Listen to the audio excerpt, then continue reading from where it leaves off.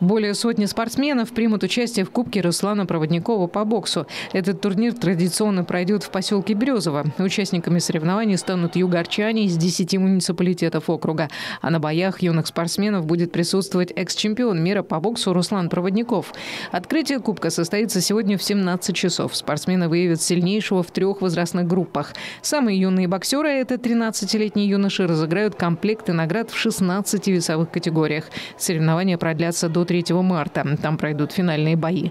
В прошлом году гостями турнира стали звезды мирового уровня Александр Малетин, Денис Лебедев и Александр Поветкин. А сам кубок был приурочен к десятилетнему юбилею боя Руслана Проводникова и Тимоти Брэдли.